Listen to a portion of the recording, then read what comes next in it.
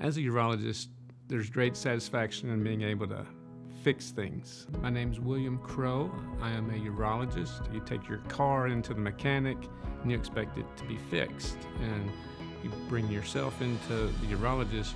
Usually we can fix things, not just kind of perpetuate some chronic medical problems that are difficult to fix. I enjoy the small town atmosphere and the people. I think that patients and employees and medical staff all work as a cohesive unit to treat patients as well as we can.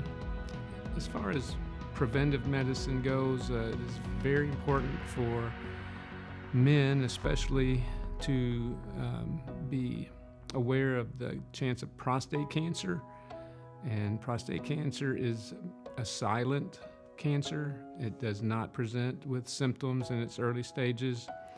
So therefore, prostate cancer screening is very important. My name is uh, William Crowe. I'm a urologist practicing here at Clark Regional Medical Center as well as at Bourbon Community Hospital in Paris. I am accepting new patients and would be glad to see you if you have any urologic needs.